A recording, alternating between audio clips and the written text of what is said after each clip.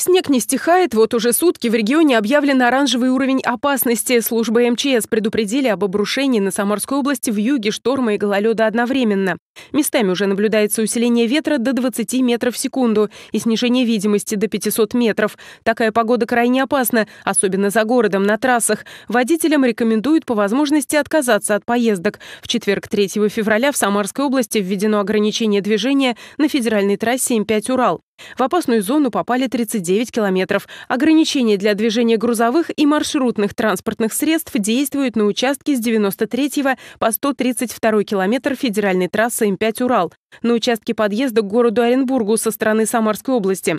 Временная мера начала действовать с 7 утра. Чуть позже были перекрыты еще два участка – Отрадный Первомайский с 6 по 17 километр в микрорайоне Кинель-Черкасский и Ташолка Тольятти Димитровград с нулевого по 24 километр в микрорайоне Ставропольский.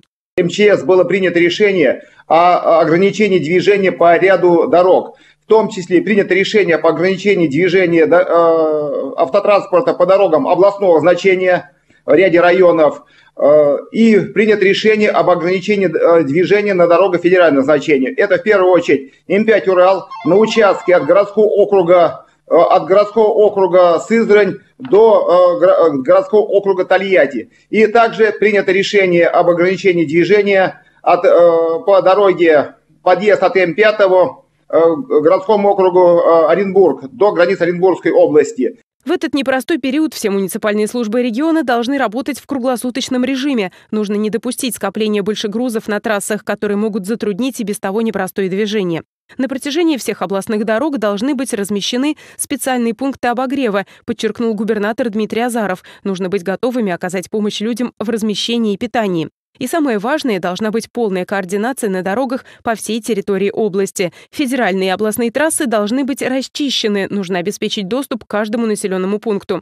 Исполняющий обязанности главы Красноармейского района рассказал, что всю ночь местные дорожные службы боролись за расчистку отрезка федеральной трассы Самара-Волгоград, Красноармейск-Пестравка. Движение там не прекращается, но в итоге не успели расчистить въезды в несколько местных деревень и попросили помощи у центра.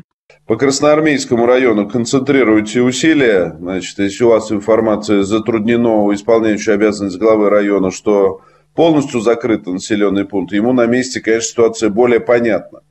Поэтому максимально помогайте, справляйтесь с ситуацией. Все населенные пункты должны быть, естественно, доступны. О ситуации в областной столице доложил первый вице-мэр Владимир Василенко.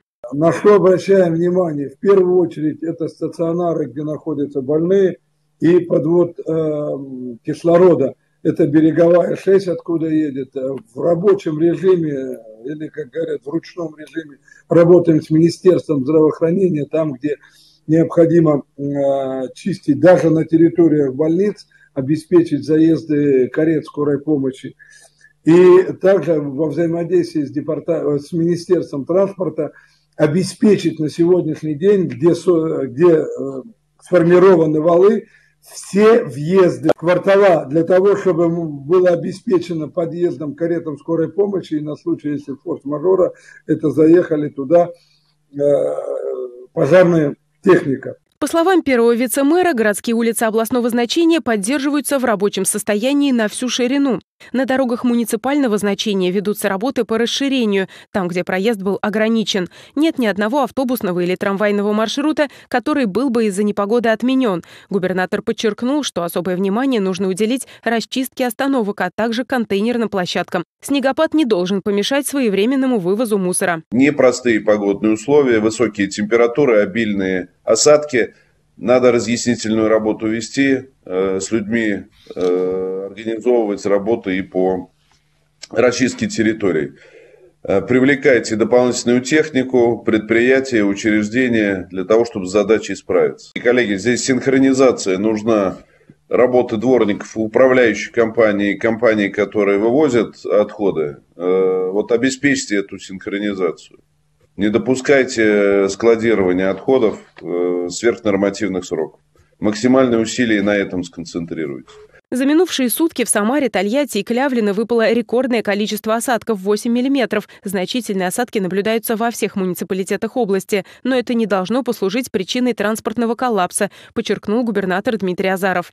Только совместные круглосуточные усилия всех служб позволят расчистить регион от снега. Пока расслабляться рано, в ночь на пятницу синоптики также обещают мокрый снег.